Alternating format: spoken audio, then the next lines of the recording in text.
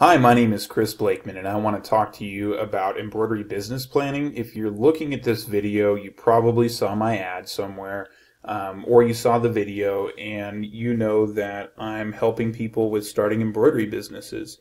So I started out um, with my own business. I opened my own business when I was 26 years old. Um, I'd finished. I went back to college to study business um, and to study entrepreneurship. I studied entrepreneurship at Colorado State University as well as human resource management and got my bachelor's degree in business administration. Um, after kind of working in you know normal jobs, I did construction jobs for a while. I did a lot of sales work too. Since I was 15, I've pretty much continually been in some kind of sales, even on the side. Um, and so I've been in sales for a very long time and decided to study business in more of a contemplative academic sense so I could get a better understanding of how to be a business person. Um, I graduated with a minor in economics and studied economics as well uh, while I was working in a machine shop selling embroidery machines. And what I found that um, was selling embroidery machines is that I would help a lot of customers um, with uh, ideas about selling embroidery. And a lot of people that would buy embroidery machines really enjoyed it, loved it, and decided they wanted to take their passion into a, a cottage business or having a business at home.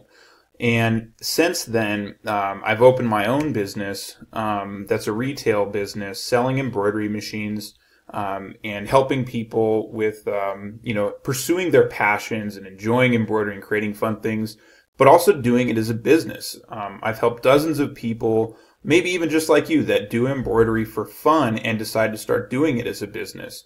And it's a really good time to do something you love as a business. I can tell you from opening my own business, um, you know, and helping my customers and helping them expand uh, what they do and um, enhancing the value um, that they need, uh, that that they already get from me, even too. Um, and so over time, I've had a great time running my own business. It's very liberating.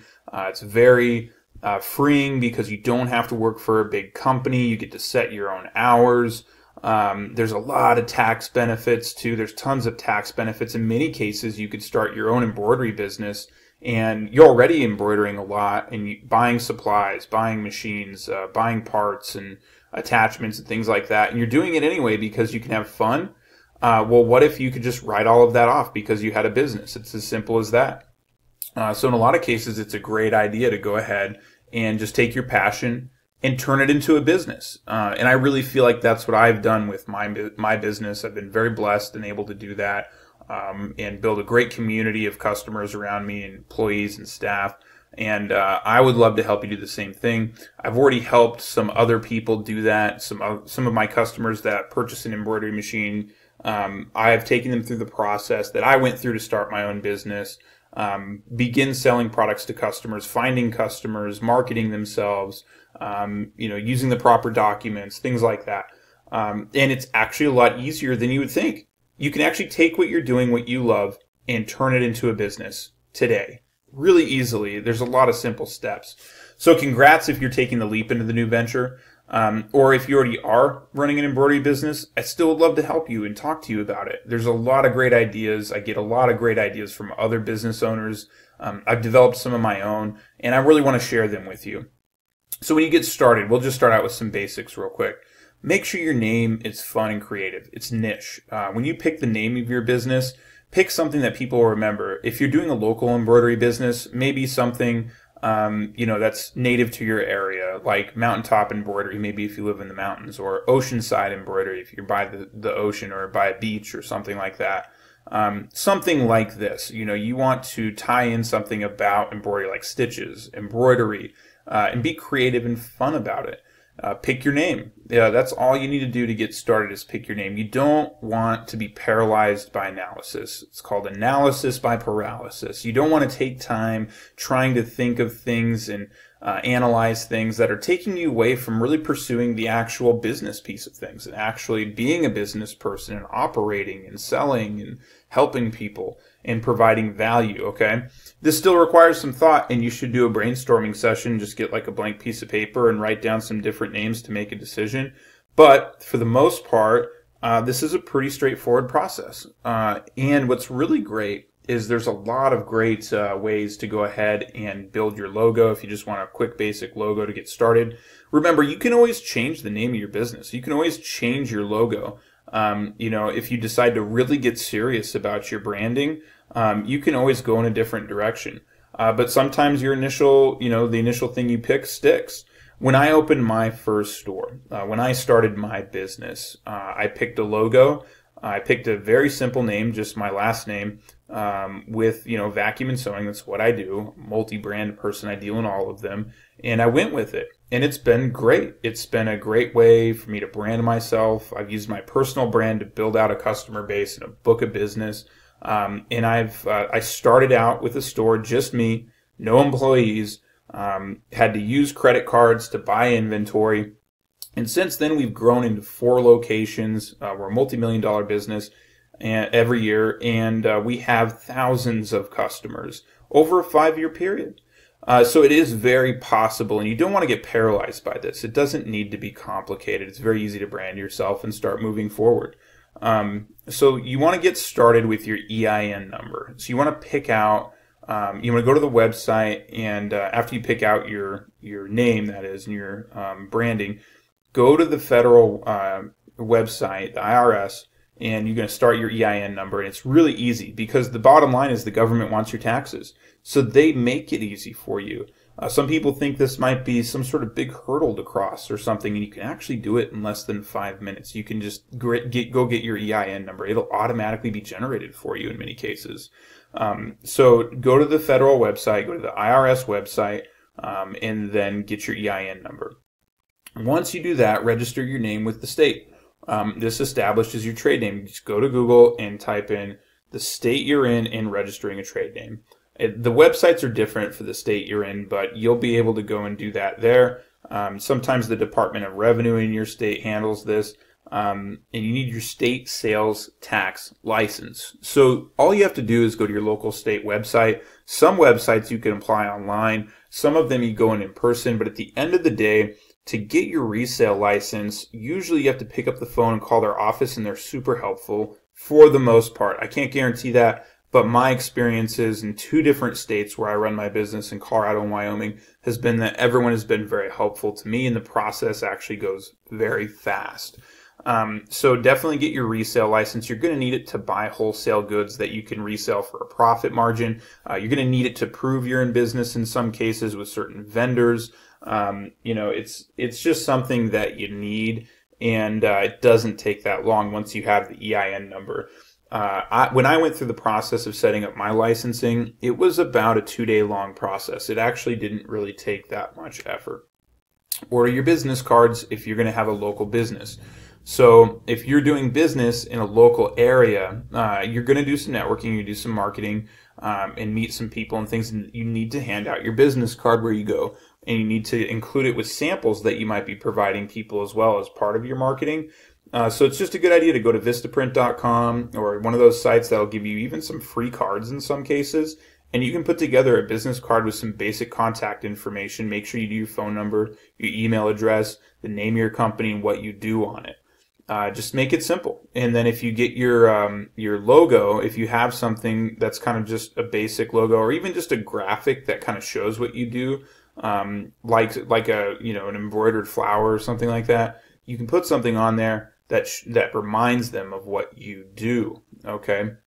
So make sure you get some uh, business cards. Now, if you're starting an Etsy site, uh, you might not be as worried about this, and you want to really focus on Etsy. Or maybe um, you're going to do Etsy, but you also know that you're going to do some embroidery for some people locally. Uh, maybe you already have some requests. That's not uncommon either. Maybe you already know people who know that you have an embroidery machine. They're asking you to do embroidery for them you guys need to understand that embroidery is actually kind of a high demand industry. Um, even in really small local areas, there's organizations, businesses, uh, acquaintances, family members. There's a lot of people that need embroidery or could use it and don't know that they need it, and you just need to talk about it with them.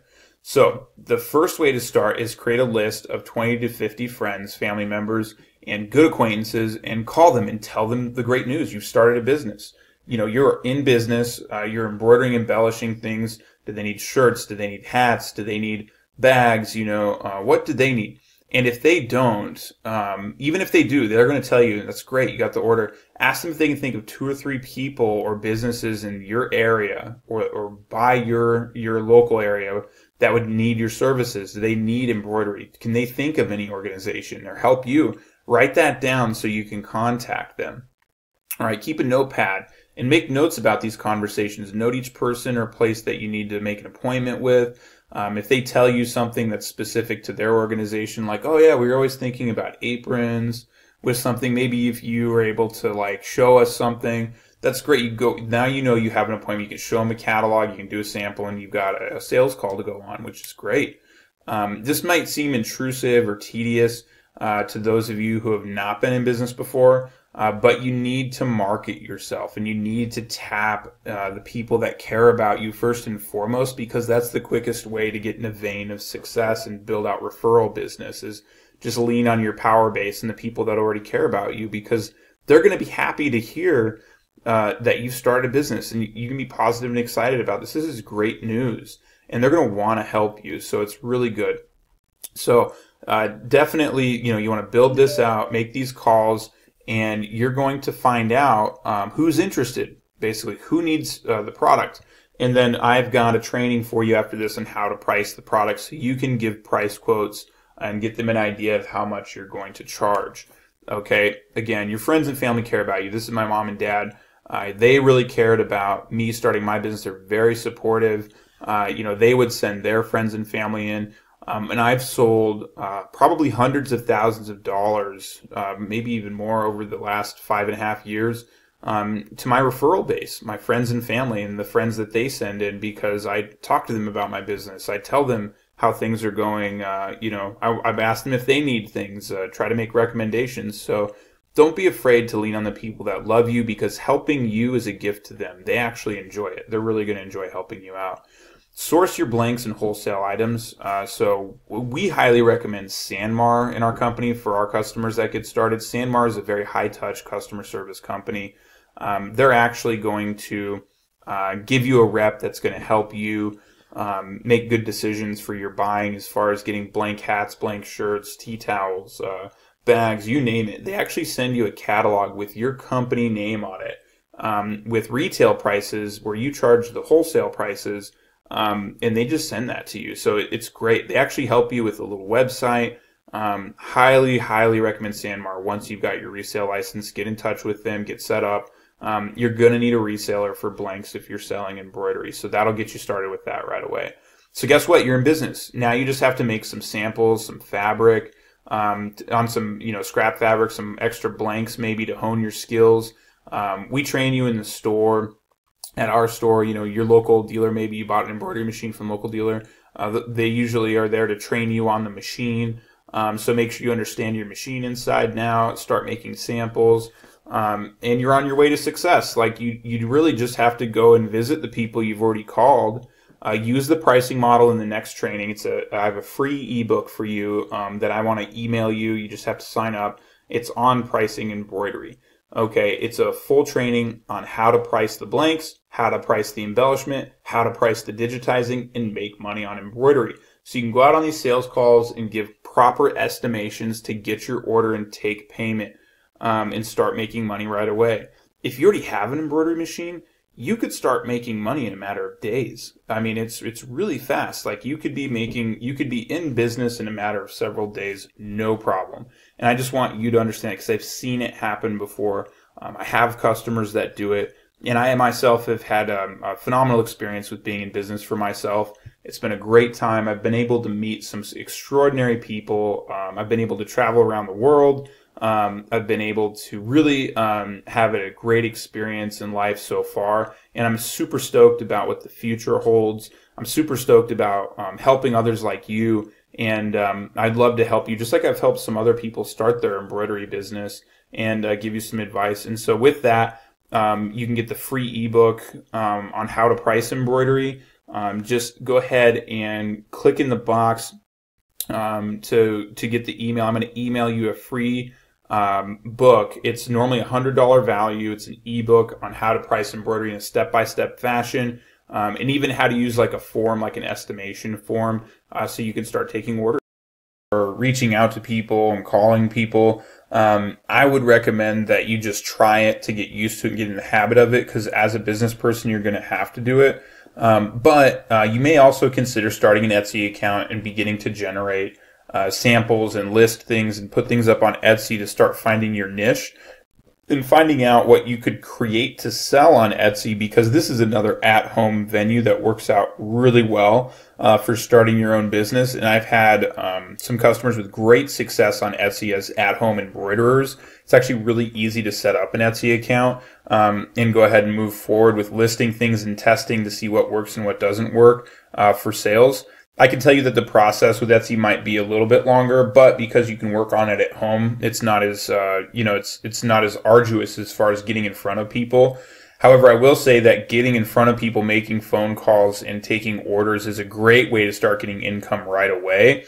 And you really should just try picking up the phone after you make your list of 20 to 30 people um, and then asking for referrals from those people in your power base so that you can generate a new list of 20 to 30 people, maybe even more, that you can call to go out and talk to about doing your free estimations. Um, so definitely download the ebook um, so you know how to price embroidery so you can go out and uh, give proper estimations to take profitable orders. Um, by again, just fill out your email. Um, in the uh, in the blank space so that I can send you the free ebook. It's a hundred dollar value. I'm just going to send it to you for free. Um, I've given it to other customers that have purchased machines from me uh, and help them with their business, and they love it. They say it's very good. It has templates to use. It has the recommended prices, market prices, um, how to price things sequentially in the right way. So I'd love to help you out. Go ahead and just pop your email in there, and I'll send you the book over and we'll have some fun selling some, creating some embroidery, selling some embroidery, uh, meeting new people,